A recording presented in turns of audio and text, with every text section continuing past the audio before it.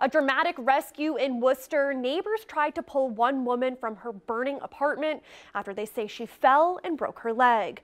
Our Roslyn Flaherty joins us live now with the details. Roslyn? Olivia, neighbors say they heard a woman screaming and came outside to find smoke, even grabbing a fire extinguisher to try to put the fire out themselves to see somebody scream for their life. Neighbors spring into action Monday morning when fire breaks out at this apartment building on Kendrick Ave in Worcester. I tried to get the fire out and I couldn't. Ray Gibbs lives upstairs and heard the fire alarm. He saw a woman on the floor in the basement and tried going in.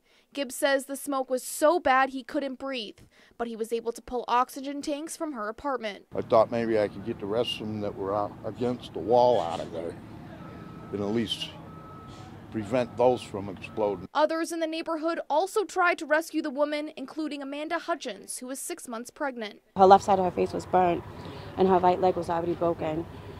I tried to pull her out.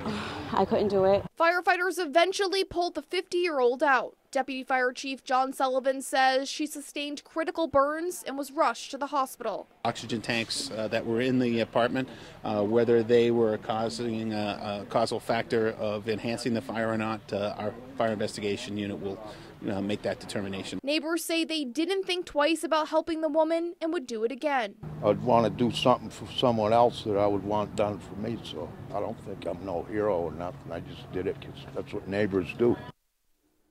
There's no word on how the woman is doing. The fire is under investigation. Olivia. Glad they could help her. Thank you, Roslyn.